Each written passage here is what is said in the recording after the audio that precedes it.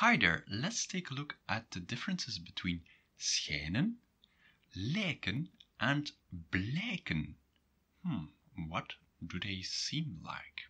Well, uh, lijken and blijken, it has to do with appearances. And let's take directly an example here. Uh, hij schijnt een vriendelijke buur te zijn. He seems to be a friendly neighbor, or he seems to be a, a nice neighbor. You can also say hij lijkt een vriendelijke buur te zijn, or hij blijkt een vriendelijke buur te zijn. As you can see, there are three choices here. And when do you use lijken, blijken, and when do you use schijnen? Well, schijnen and lijken are both translated as to seem, and blijken appear to be. So, uh, but when you're using schijnen, hij schijnt een vriendelijke buur te zijn, he seems to be a nice neighbor, well, then it means that you've heard this from other people. It's not from your own experience. You didn't see the neighbor yet, but he seems to be a nice neighbor. And then you're going to use hij schijnt een vriendelijke buur te zijn. When do you use lijken then? Hij lijkt een vriendelijke buur te zijn. When you're watching the neighbor and you see, oh, he's talking with my other neighbors. Hmm, well, I, from my own perception, I can see that he seems to be a nice neighbor. And then we're going to use lijken. So schijnen is for the perception of others. Lijken is for your own perception. And what does blijken mean then? Ha, well, blijken is more appears to be. When you're sure about something. Uh, and schijnen is when you're not sure. It's your perception. You're hmm, you're doubting what you're seeing. You're, you're not sure, but it seems to be a nice neighbor. And blijken is when you know it's a nice neighbor. When you've talked with your neighbor and you had a nice chat and you know it was it appeared to be a nice neighbor. You had some experience, personal or experience, or it could also be that uh, other neighbors talk to him and he really is a nice neighbor. It doesn't depend on whether it's your own experience or other people's experience. It appears to be a nice neighbor. It has been tested, and uh, you know uh, they've tested him if he was a nice neighbor or not. And from the experience, it appears to be a nice uh, neighbor. Let's also take a look at the construction. Uh, hij schijnt een vriendelijke buur te zijn. Uh, if you have a verb there, you have to uh, put it behind the te.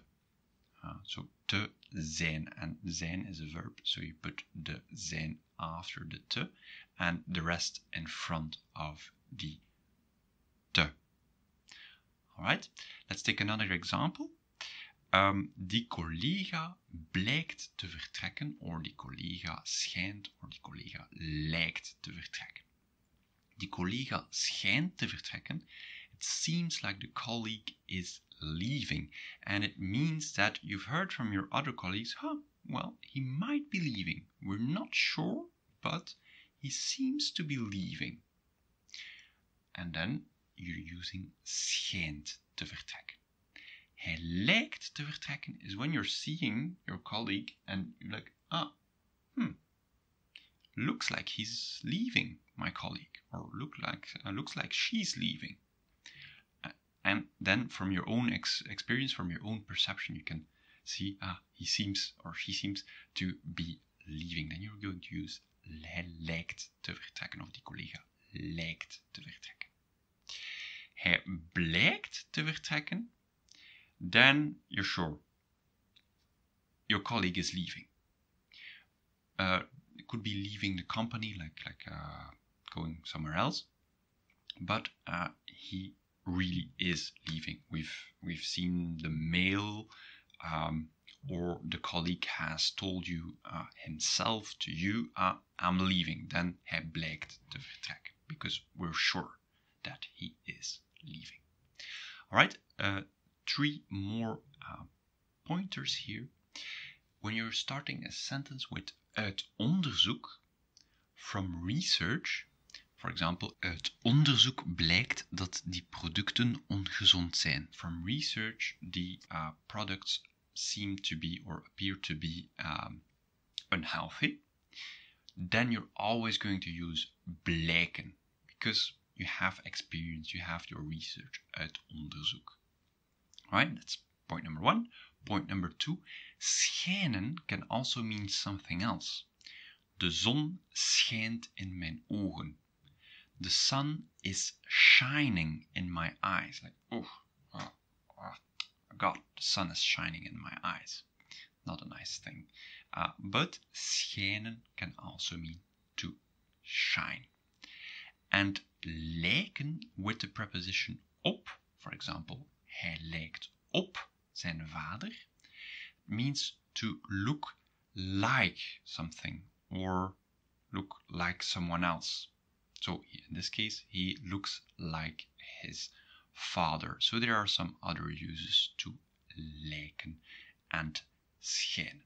So remember uh, lijken from your own perception, something you're not sure of, schijnen from other people's perception, gossip, uh, and they're not sure, and blijken is when you're sure, uh, when it something appears to be true uh, from your own perception or from other people's perception. This question was asked by BG. If you have uh, other um, questions, feel free to write them in the comments as uh, BG uh, did. Tot ziens!